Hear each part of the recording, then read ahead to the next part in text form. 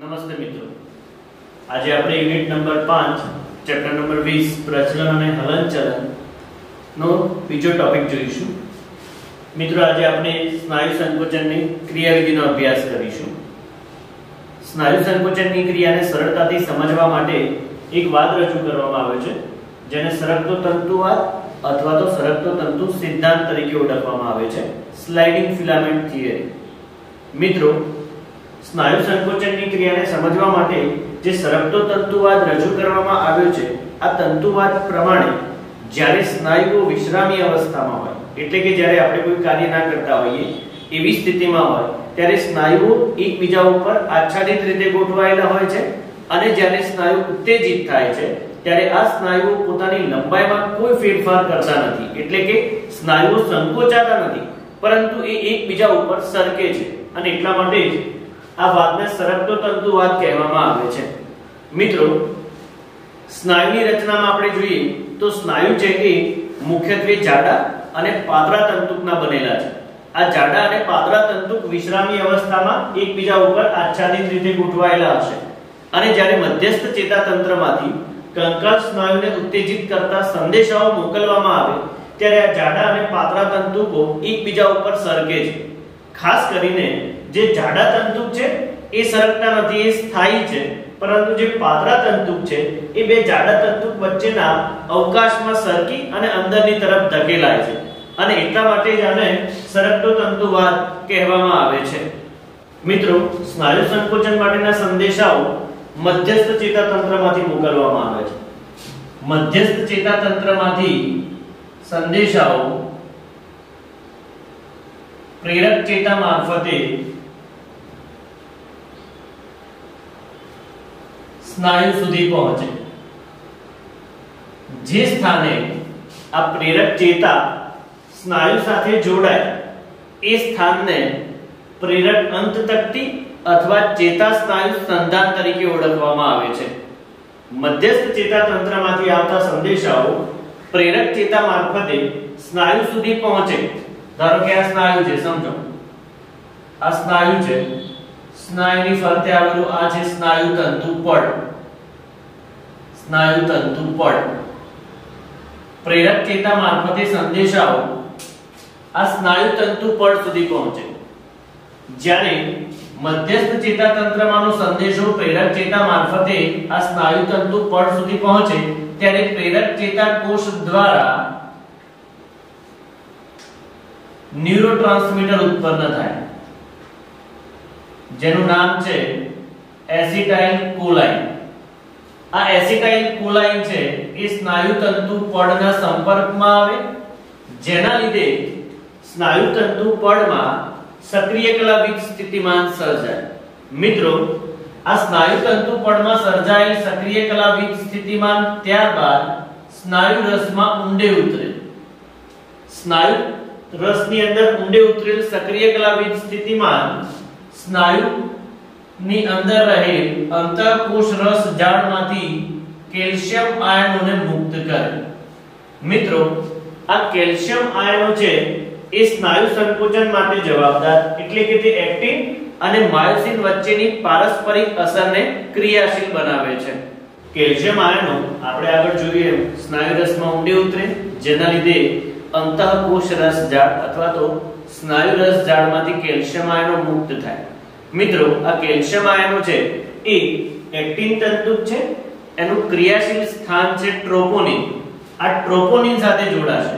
Calcium આયનો calcium આયનો, actin તંતુકના ક્રિયાશીલ સ્થાન, ટ્રોપોનિન સાથે જોડાય.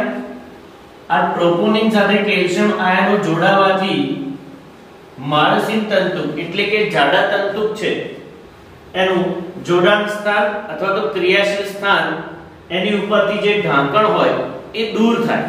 જેના લીધે માયોસિન છે એનું શીર્ષ, માયોસિન છે એનું શીર્ષ એક્ટિનના ક્રિયાશીલ સ્થાન ટ્રોપોનિન સાથે જોડાય. મિત્રો, માયોસિનનું શીર્ષ જ્યારે કેલ્શિયમ આયનો દ્વારા સક્રિય થઈ ટ્રોપોનિનના ક્રિયાશીલ, એક્ટિનના ક્રિયાશીલ સ્થાન ટ્રોપોનિન સાથે જોડાય છે, આ ક્રિયાને સેતુ નિર્માણ તરીકે ઓળખવામાં આવે છે. સ્નાયુ સંકોચન માટે સેતુ નિર્માણ એ ખૂબ જ મહત્વની ઘટના છે. મિત્રો, સ્નાયુ સંકોચન માટે જેટલા કેલ્શિયમ આયનો અગત્યના છે, એટલું જ ઊર્જા અથવા તો શક્તિ પણ આવશ્યક છે.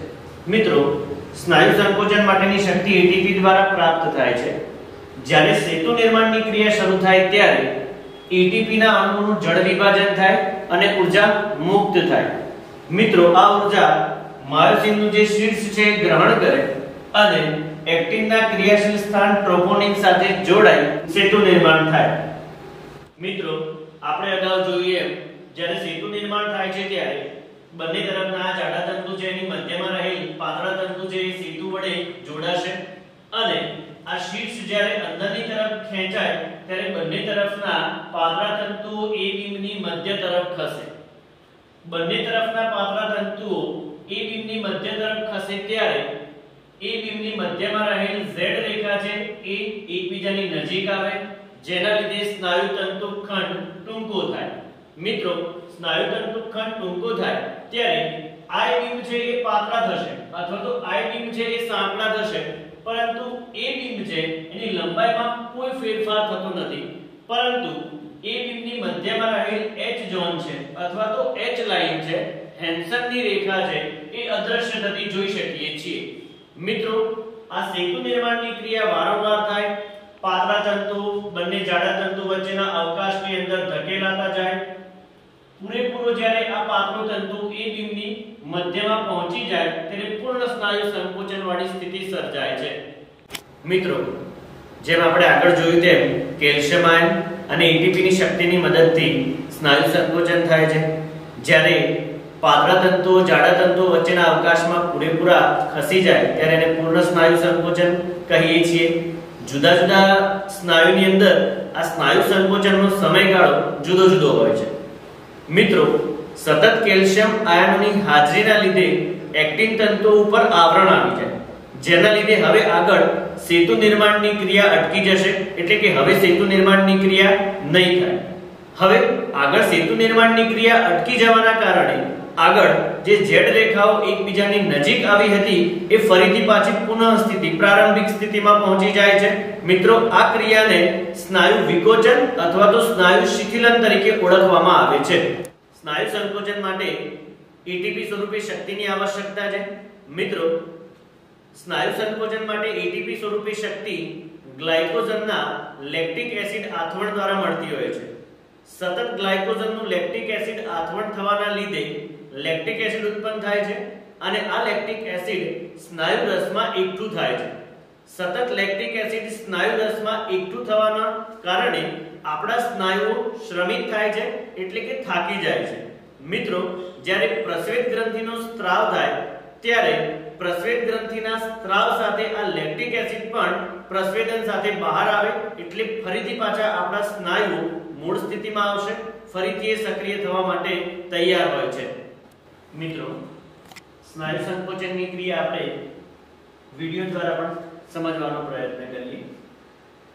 અગાઉ મેં આપણને કીધું એમ, સ્નાયુઓ જે છે એ એક્ટિન તંતુ એટલે કે પાતળા તંતુ અને માયોસિન તંતુ એટલે કે જાડા તંતુના બનેલા છે.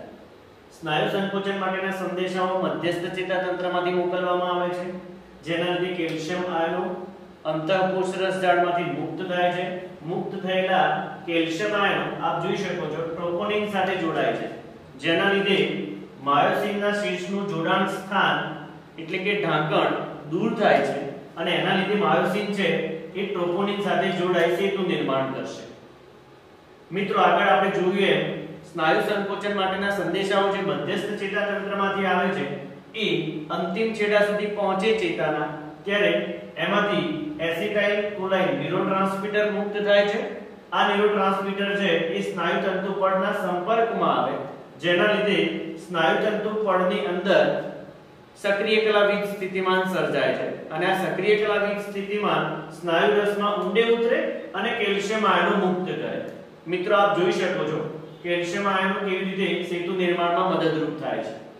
મિત્રો, આપણે અગાઉ જોઈએ એમ સ્નાયુ સંકોચન માટે એટીપી સ્વરૂપે શક્તિની આવશ્યકતા છે.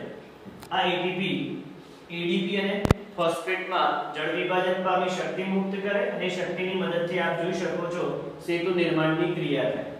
સતત, આ માયોસિનના શીર્ષમાંથી એટીપી મુક્ત થતા રહે છે અને એ એટીપી જળ વિભાજન પામી એડીપી અને ફોસ્ફેટમાં ફેરવાય છે. અને શક્તિનો ઉપયોગ થઈ સેતુ નિર્માણ થાય અને સેતુ નિર્માણ દ્વારા પાતળા તંતુઓ, જાડા તંતુ વચ્ચેના અવકાશમાં સતત અંતરની તરફ ખેંચાતા રહે છે અને એના લીધે સ્નાયુ સંકોચનની ક્રિયા શક્ય બને છે.